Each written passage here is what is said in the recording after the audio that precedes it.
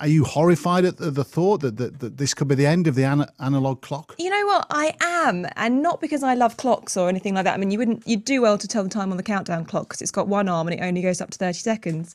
Um, but it's just basic maths, isn't it?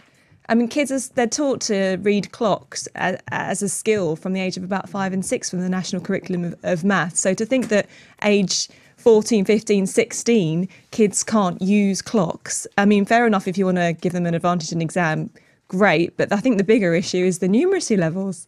But if technology moves on and all clocks are, are, eventually going to be digital, or most of them, apart from a fancy timepiece that you might get for your birthday, is there much point? Well, it's not about the clock for me. It's it's about you know looking at it teaches you quarters, it teaches you halves, it teaches you fractions. It's about um, using a you know a non-numerical way of displaying information and being able to work out what that information is telling you.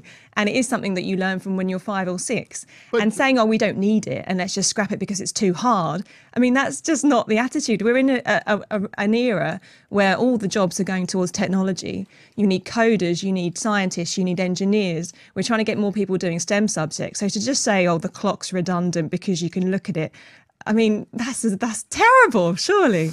Uh, well, it's not my fault. I mean, I, I, I feel, I feel as though you're blaming me. I'm not blaming you, but I was, I I've was only read shocked. it out. I was shocked.